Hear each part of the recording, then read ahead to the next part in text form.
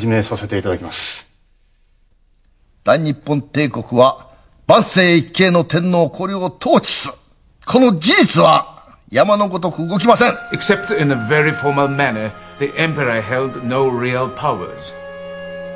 Was not the declaration of war against the United States issued in the name of the Emperor! Tojo is totally responsible for the declaration of war against the United States. Konoe!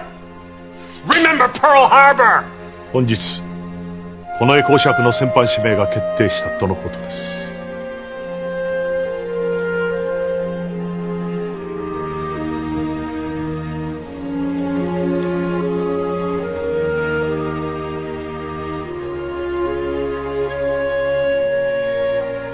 ありがとう。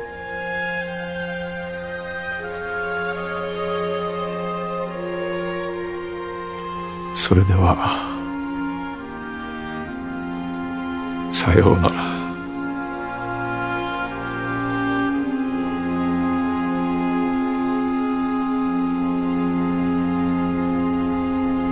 憲法は最後の砦なんだいいか私はアメリカと戦争をしているんだ。この戦争だけは絶対に負けられないぞ。天皇は子孫にして犯すべからずではどうですか？子孫ね。いっそのこと天皇は国の元首にして犯すべからずとはっきりと規定する手もあります。ただ単純に天皇は犯すべからずでいいでしょう。天皇は子孫にして犯すべからずでいきましょう。統帥体験は残すのですか？残します。戒厳令布告の権能も？残します。失礼ですがこの程度の改正では GHQ も国民も不満を持つと思います。不満があれば訂正してもよろしい。最初から交代した形で政府案を出すのは相手に付け入る隙を与えかねません。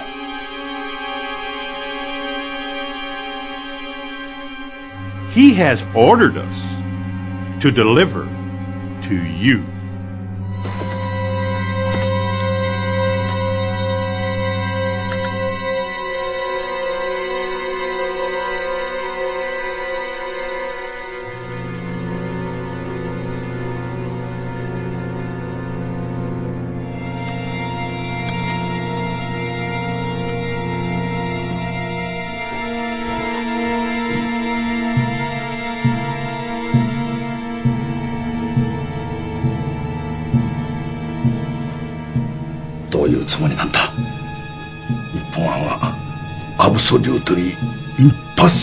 諾できない。だから GHQ は憲法を作成したと。大事ですなこりゃ。The Emperor shall be simple なんだこのシンボルってのは象徴でしょ。うか象徴。天皇は日本国の象徴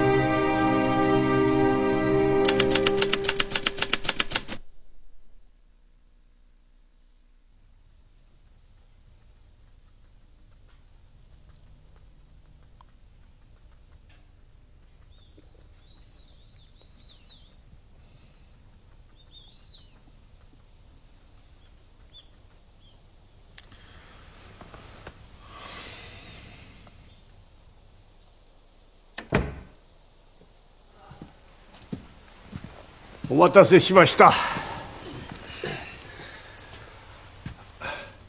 ご報告を申し上げます。本日午前10時より外装官邸にて総司令部のホイットニー民生局長ほか3名と会談をいたしました。ご苦労様でした。どうぞ。守備はいかがでした？それが奇妙奇て烈な話になりまして奇妙奇て烈結論から申しますとマッカーサーは我々が提出した憲法改正案を受託できないそうです。おお。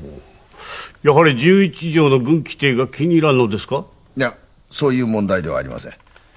全面的に拒絶されたのです。いや拒絶したばかりではなく驚いたことに。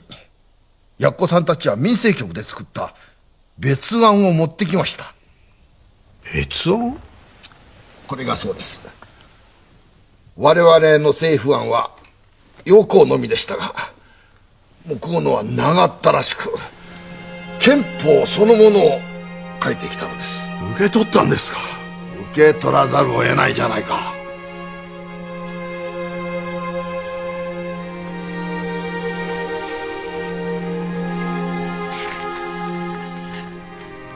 序文がついてるんですかそこは飛ばしてまず第一条をお読みください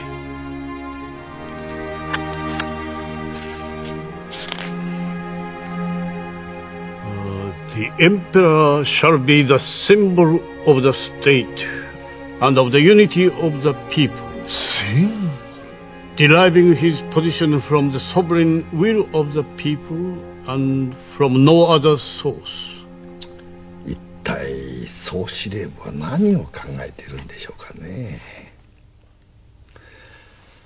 もっともホイットニーはこれを日本側に押し付けるつもりはないと言いましたがね。詳しく話してください。まあ要するに強制はしないけれどもマッカーサー元帥はアメリカ国内のまた他の国の強烈な反対を押し切って天皇陛下を擁護するために苦心を重ねておると、まあ、この GHQ の憲法案の範囲であればなんとか天皇陛下のご安泰を図れるであろうと。それから。総理第8条はいかがですか？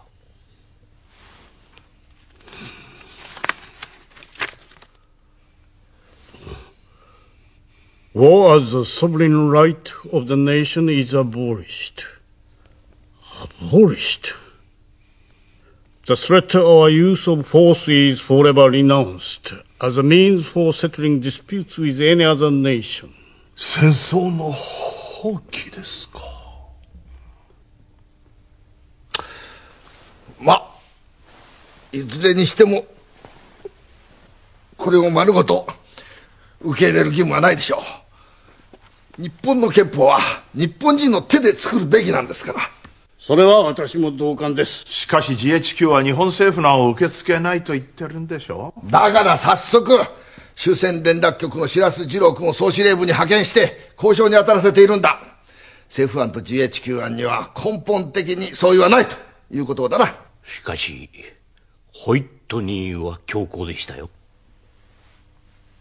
マッカーサー元帥はこの GHQ の案が日本政府の案として発表されることを強く望んでいる。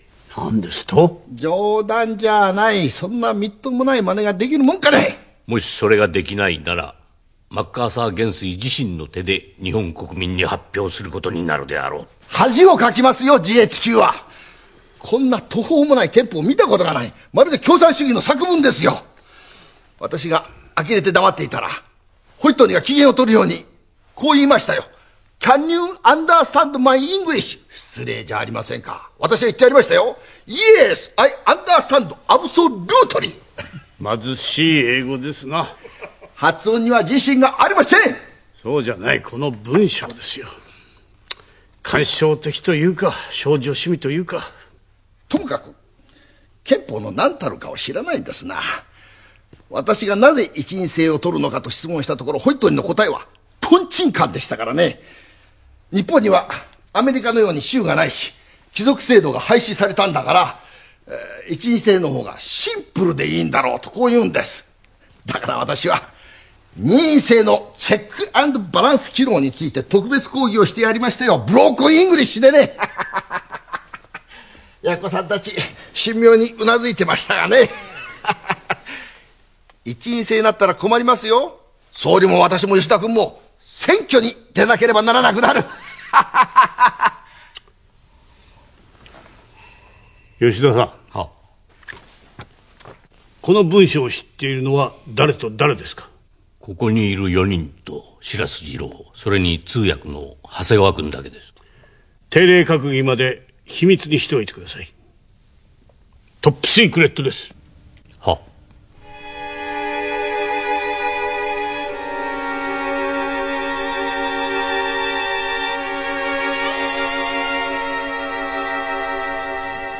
もほろろです。取り付く島もありません。我々の立場はどうなるんだ？憲法問題調査委員会の面目は丸つぶりじゃないか。GHQ の案は日本政府への最大のプレゼントだそうです。善意と友愛に満ちたこの案を飲めないようなら内閣を総辞職すべきだとそこまで言われました。メイドイン USA の憲法を飲めるわけがないだろう。他人のふんどしで相撲を取れってのか？にしても GHQ はいつの間に憲法なんか。計画的なんだよ。最初から政府案は蹴るつもりだったんだ。いやそうじゃありません。何？ケイディス大佐に聞いた話ですがあの憲法は民政局のメンバーがたった1週間でまとめ上げたそうです。1週間？まさか。マッカーサーからの作成命令が出たのが2月3日。作業を開始したのが2月4日だと言っていました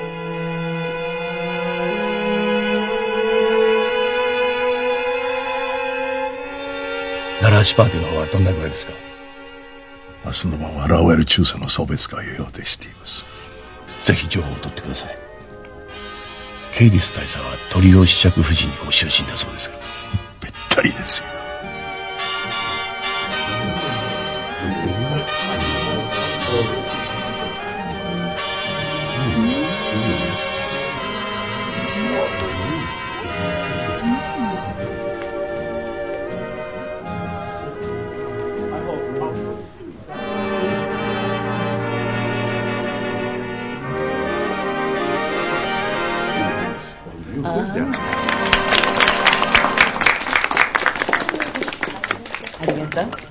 さあどうぞ。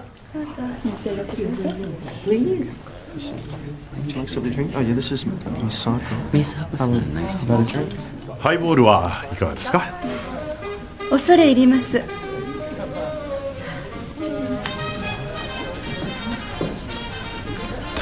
は何かええ天皇制は心配ないと言っています。日本人の心情については私からも繰り返し説明しておりますのでそれはそれは今年は天皇陛下が全国をご巡行遊ばします。日本国民がいかに皇室を崇拝しているかよくご覧なさいと。他には何か？ここにいるご婦人方は気の毒だと言っていました。ほう。もちろんジョークですけど。民主主義になれば公爵夫人も子爵夫人も今の地位を失ってしまうねって。えー、総選挙の時期ですがいつになるんでしょうねさあ存じません。政府は GHQ に振り回されて八方塞がりの状態です。憲法のことでもぎゅうぎゅうやられています。そうでしょうか。ケイディス大佐は今歴史に残る大仕事をしていると言っています。日本国民にも必ず感謝されるはずだと。自分はこの仕事に誇りを持っていると。それは GHQ の考えであってシデアナ内閣の考えではありません。Monsieur Narahashi. Oh Excusez-moi. Je ne suis pas venu ce soir pour parler politique. Je suis venu pour profiter de la soirée. Je sais. Euh, Voulez-vous un cocktail? Conduisez-nous en gentleman. Ne mettez pas Tsuchan dans l'embarras. Bon, bon. Jack, let's dance! Good idea.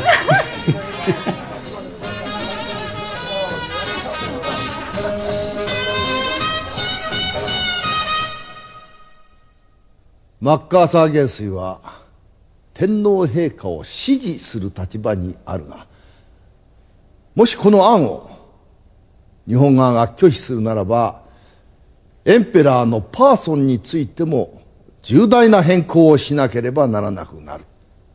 とホイットニー局長はかように述べたのであります。エンペラーのパーソン？天皇の身体に関わるということです。脅迫的ですな。けしからんね。問題の GHQ 案を見せてください。ただいま翻訳中であります。6日も経ってるんだよ。文言の解釈に慎重を期しておりますので。英文でも構わんよ。出来次第お配りいたします。我々も昨日文章をもって説明の補充を試みましたがこれも突っぱねられ逆に48時間以内の回答を強く求められました。48時間。明日ですか？そうです。回答の期限は明日です。断固として反対します。私も拒絶すべきだと思います。天皇のシンボル化とか戦争の放棄とかそんなバカな話がありますか？質問どうぞ。我々が拒絶しても GHQ 案は発表されるわけでしょそう言ってますね。我が国の新聞は必ず GHQ 案の承知持ちをするでしょう。新聞に煽られて賛成する連中がどっと増えますよ。そうなると政府は批判の矢面に立たされ総選挙どころではなくなります。厚生大臣はアメリカの憲法を受け入れようというんですか？拒絶できると思いますか？日本人なら拒絶すべきです。総理のご意見を伺いましょう。いかがですか？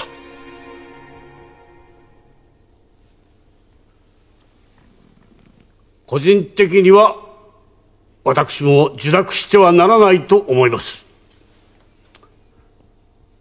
しかしながらことはあまりにも重大でありますしたがって結論を出す前に私重原がマッカーサー元帥と直接会って膝詰め談判をしたいと思います。ご異議ありませんか？異議なし。異議なし。異議なし。異議なし。異議なし。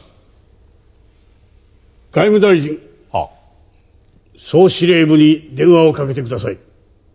かしこまりました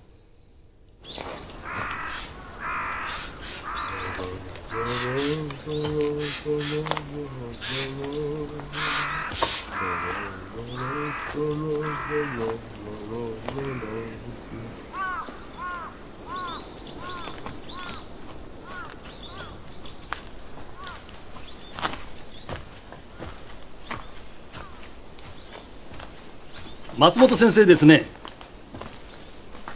君たちは？国南レール愛国者です。何の用だ？お届けしたいものがあって参上いたしました。ぶしつけながら先生は天皇の臣下でいらっしゃいますか？もちろんだよ。天子様への忠節心は人語に落ちるものではない。ならば憲法の天皇上皇は不変と考えてよろしゅうございますか。ここでそんな話はできない。改めて事務所へ出向くなりなんなり。筋を通すべきではないのかね。自分が憂慮いたしておりますのは政府の憲法案作成が著しく遅滞していることであります。苦労があるんだよ。いろいろと。お察しいたします。不天にも天皇の城示す大屋島植民地化戦とするアメリカ軍があり共産主義化戦とする非国民があり。うんかかる大事にあたり建国2600年の国体を護持するには断固たる信念こそ寛容かと存じます。君の言う通りだ。願わくは松本先生が何人にも屈することなく五国の鬼となられんことを期待しここに一振りの担当をご進呈いたします。担当？万が一国体の誤字ならずばマッカーサーと差し違えるもよしあるいは自決なさるもよし。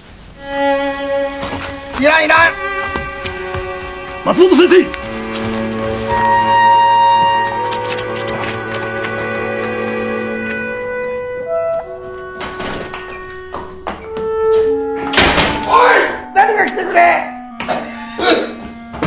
どうなさったんですか？水を頼む。はい。冗談じゃないぞ。なぜ私があんな目に遭わされなきゃならないんだ。待ち伏せをされたんだ。国粋主義者の物騒な連中に。まだですか？もう閉めといた方がいいぞ。警備の警官を増やすように。はい。やっぱり朝のお散歩は見合わせた方がいいですね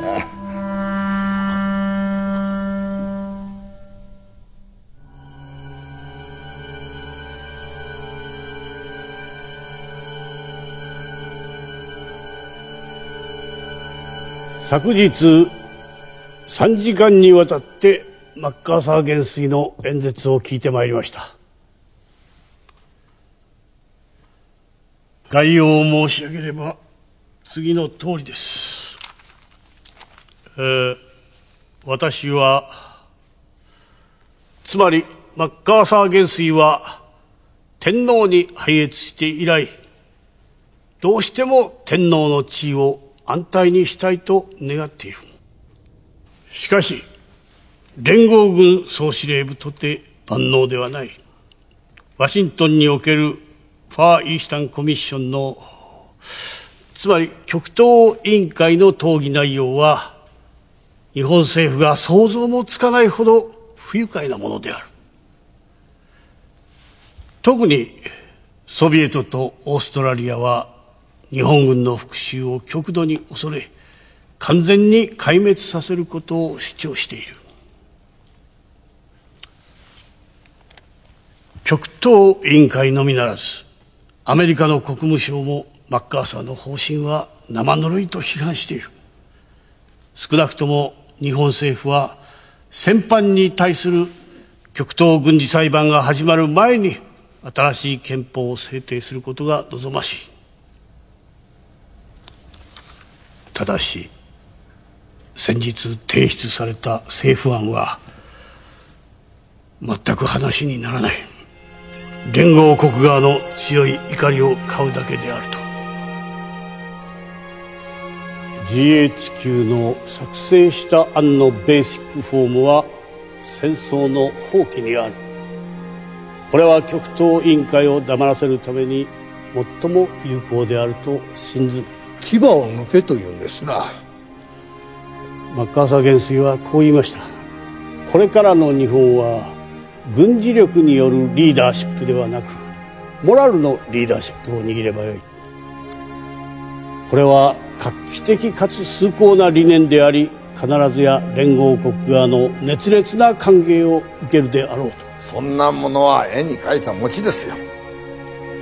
私もそれを言いましたフォロワーがいなければリーダーシップの握りようがない。元帥の答えはこうでした。たとえフォロワーズがいなくても日本は失うものがない。戦争を放棄した国を侵略すればその国は世界中から糾弾されるであろうと。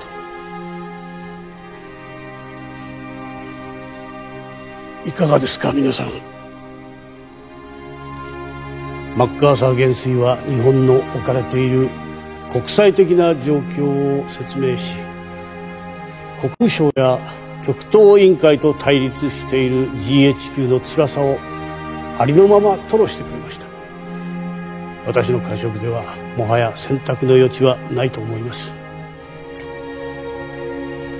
GHQ 案を受け入れる方向で閣議決定を願いたい。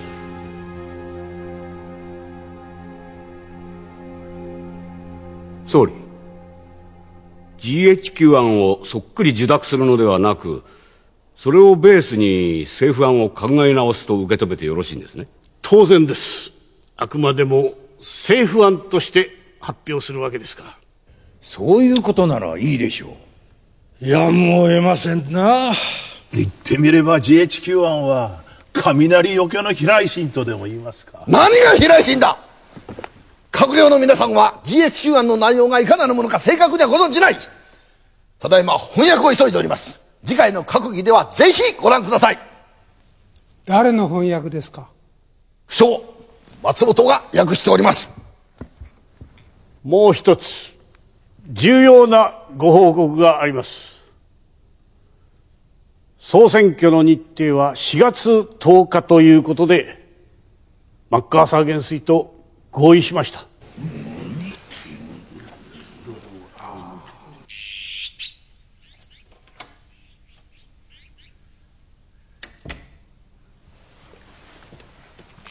お待たせしました。GSQ の憲法案はどうでしたか？なかなかエキゾチックな内容でしたね。気の重い話ですよ。我々調査委員会が長身露骨して作った改正案をいっぺんでひっくり返されたんですからな今度はあれをベースにもう一度考え直せって言うんですからな。伊賀栗をですよ。顔を向かないまま伊賀ごと飲み込めって言われてもね。しかしこうなったら閣議決定に従うほかありません。まあもう一踏ん張りして伊賀をなんとかこう取り除く作業をしなければなりません。宮沢教授にわざわざお越しいただいたのもそのお願いのためでして。せっかくですが私は辞退させていただきます。まあまあそうおっしゃらずに。GHQ の案はよくできてますよ。あのままでいいじゃありませんか。皮肉ですか？皮肉じゃありません。私は一読して感動しました。目から鱗が落ちる思いでした。目から鱗ってあれは民政局の素人が作ったんですよ。そうでしょうね。憲法学者にはとても思いつかん条文です。宮沢さん正直言って私は学者の限界を感じましたよ。もともと法律家というものは保守的な考えしかできないもんなんだって思い知らされました。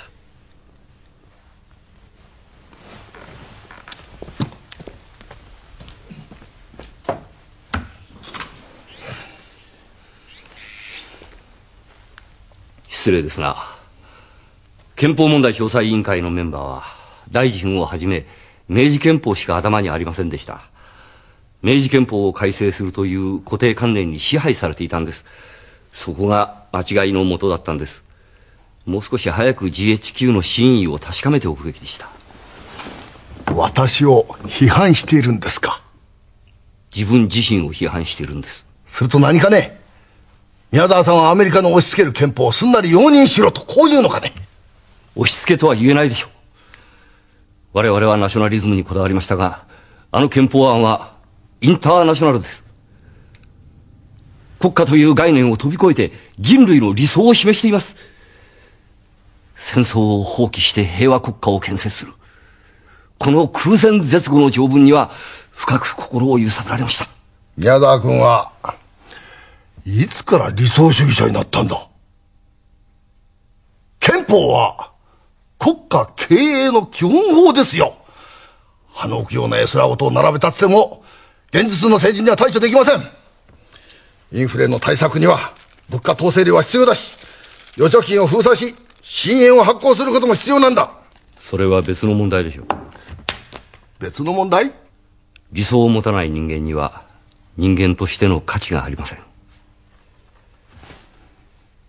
分かった君には頼みません。失礼しました。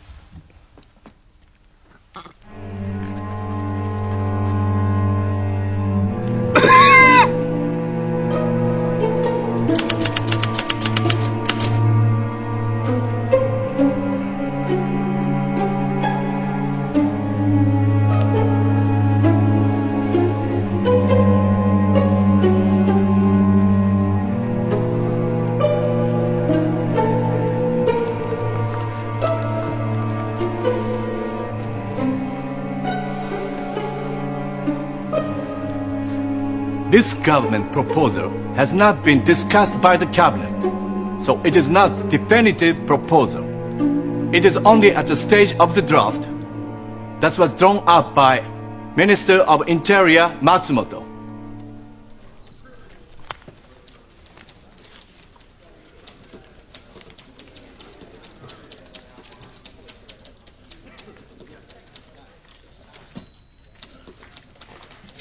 It doesn't appear to be in English. It was not possible to get translation done by today.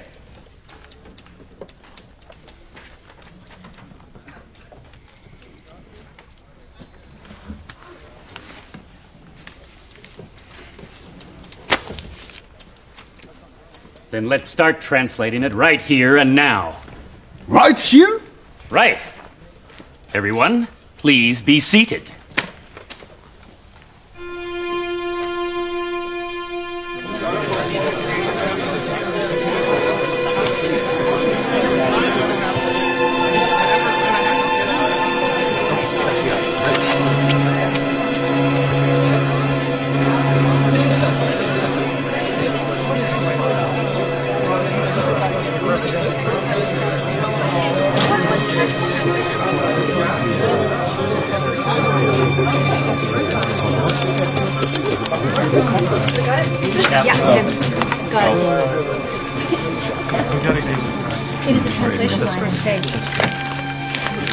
preamble? There isn't any.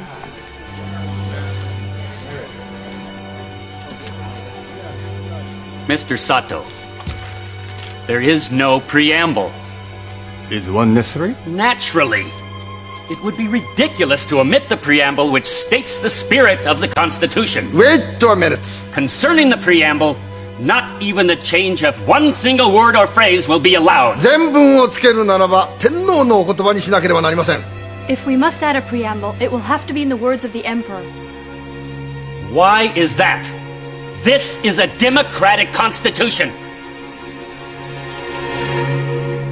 From no other source.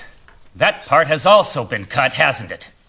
天皇は日本国民至高の総意に基づきとなっていますが、我々の原文にある from no other source それ以外の何者にも基づくものではない。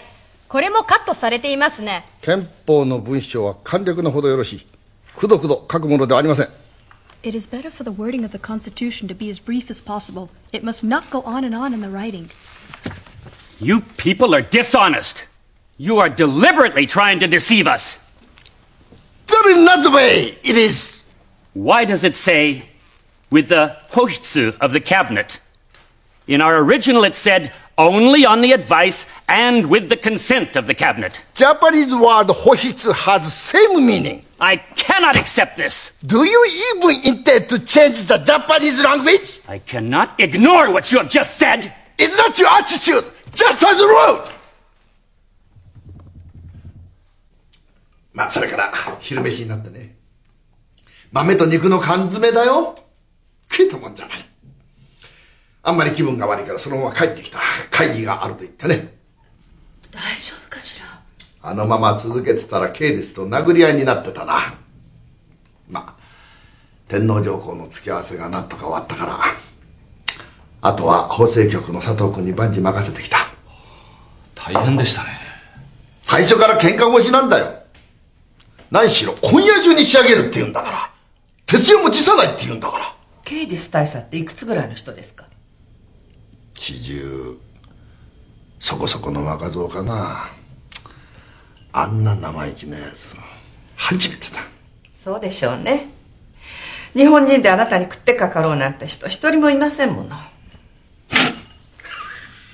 お前ぐらいなものかな。まあ。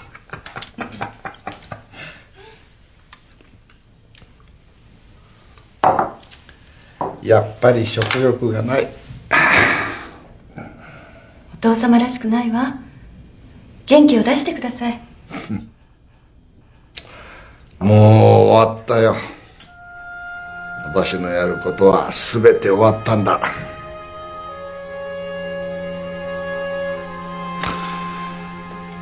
戦争で負けて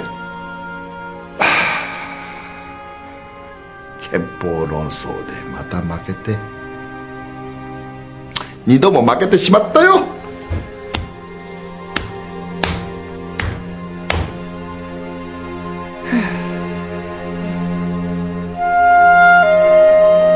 That's no good. The words Japanese people excludes foreigners. All natural persons, regardless of race, creed, gender, or class, must be equal before the law. Japanese people ではなくて all natural person にしてください。ナチュラルパーソンにあたる適切な言葉は日本語にありません There is no proper word in Japanese to translate natural person. That cannot be. The spirit of the Constitution must not be twisted by translation.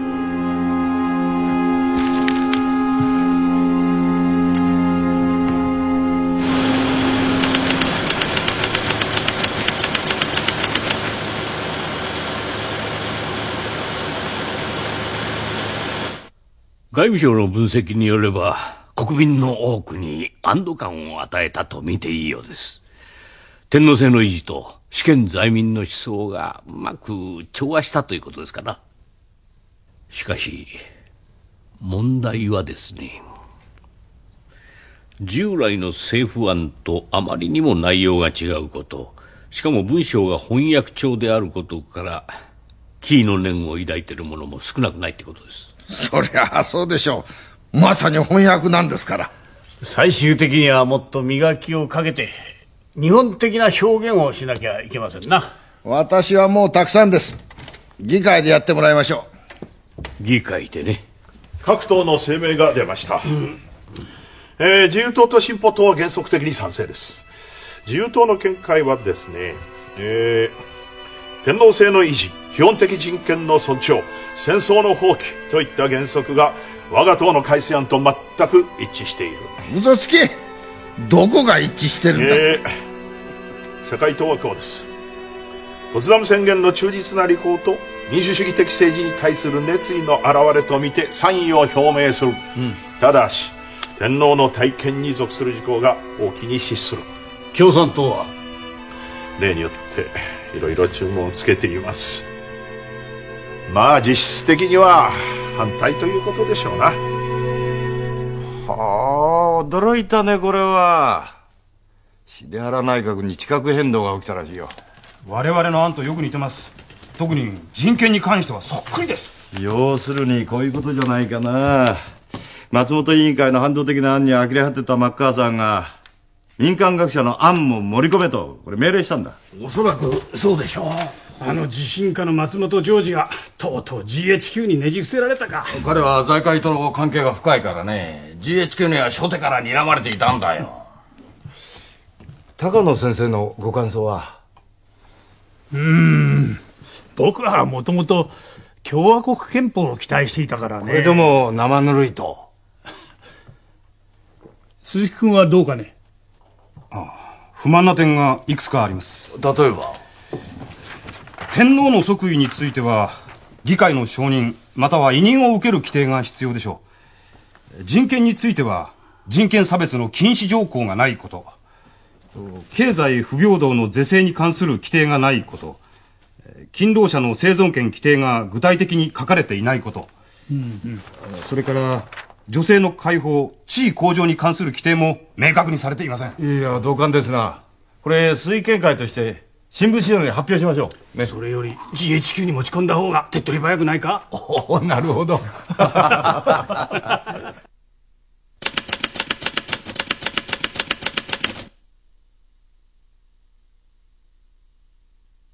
日比谷公園に7万人も集まってるそうですよ。選挙目当ての動員だよ。共産党と労働組合がつるってそれを GHQ が資料視して今は民主化民主化と言ってれば怖いものなしだからな。認識の見旗だからな。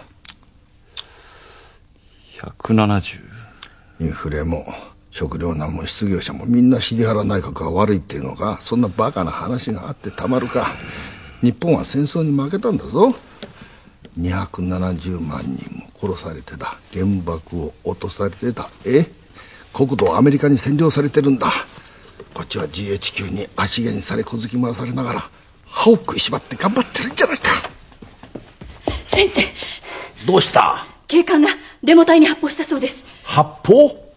何万人というデモ隊がさっきだって首相官邸に向かっています。革命が起きるんじゃないでしょうか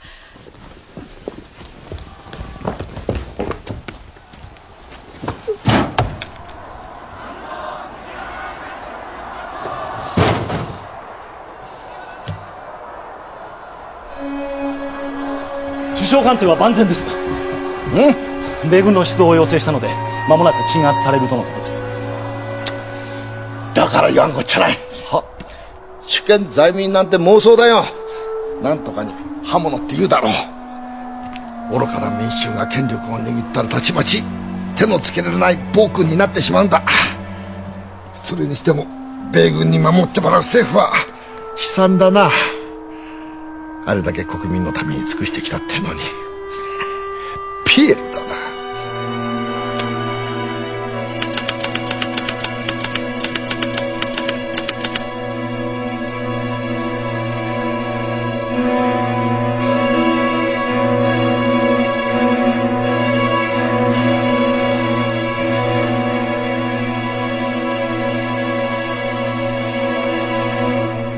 民法党の総裁？ぜひお願いしたいそうです。これは公職追放された進歩党の町田総裁の強い要望でもあります。政党政治はごめんこぶりたいね。しがらみが多くてね。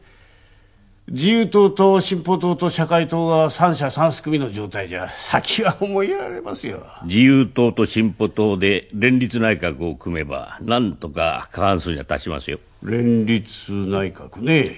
そこで自由党の鳩山一郎君に対抗できるのは重原さん以外にはないと。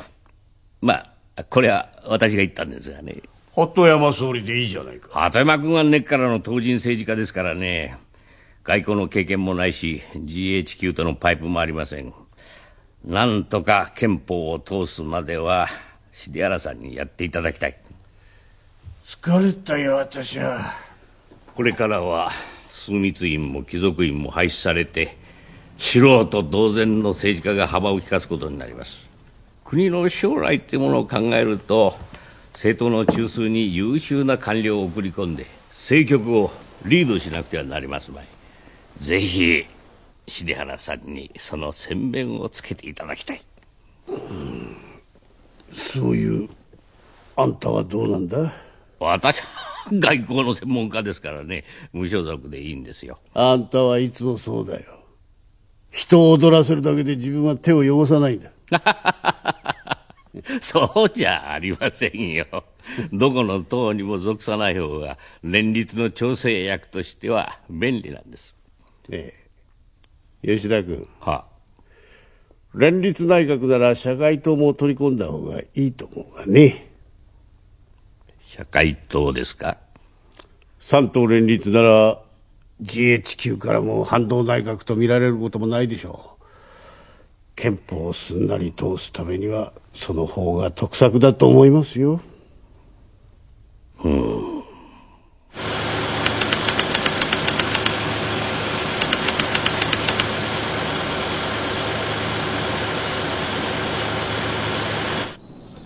まったく不愉快だな内閣は総辞職したってのになぜ私だけは業務を継続しなきゃならんのだ？憲法担当大臣だからでしょ。私が作った憲法じゃないんだぞ。あんな子供っぽい憲法。なぜ枢密院で説明しなきゃならんのだ？なぜ私が質問に答えなきゃならんのだ？え？新しい憲法は公語文ですってね。実に甘っちょろい文章だよペラペラして重みがなくて。